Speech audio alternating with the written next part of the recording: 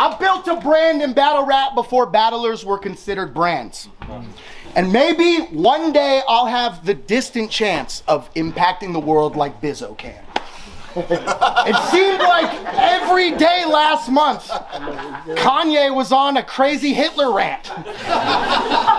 Until Bizzo Bond put out a hot 16.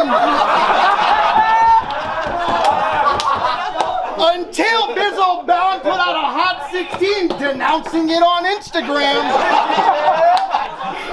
Now, my first reaction was like, really? I, I don't know if Kanye will even give a damn. but y'all, he's got 1,500 followers.